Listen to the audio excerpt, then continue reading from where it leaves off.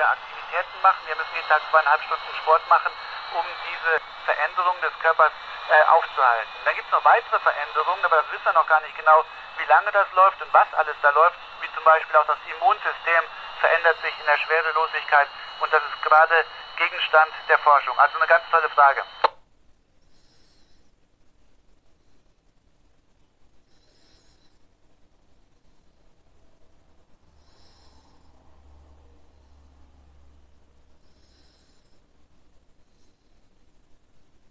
Gemacht.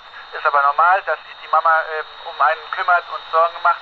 Aber ich bin momentan eigentlich äh, sehr froh, hier oben zu sein. Und ich denke, ich bin hier oben, auch wenn ich im Weltall bin, äh, sicherer als ihr da unten auf der Erde in der Corona-Pandemie. Over.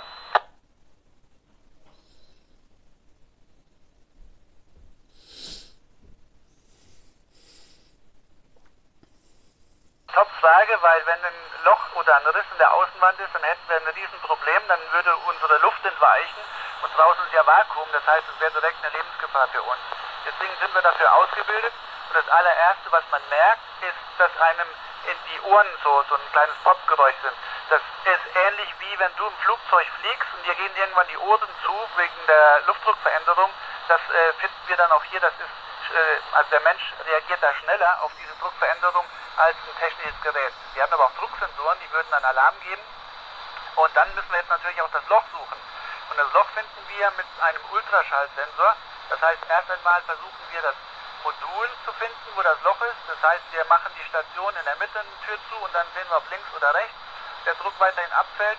Und dann unterteilen wir die Segmente immer weiter, bis wir dann nachher äh, das eine Modul gefunden haben, wo wir wissen, hier äh, fällt, hier ist ein Loch, hier fällt der Luftdruck ab und dann gehen wir mit unserem Ultraschallsensor hin und wir hören dann äh, das Geräusch, so ein ganz feines Summen ist das. Das ist nicht so schnell zu finden, weil das geht nur bei ganz kleinen Löchern. Wenn wir ein großes Loch hätten, dann würden wir einfach das Modul zumachen und dann wäre das verloren.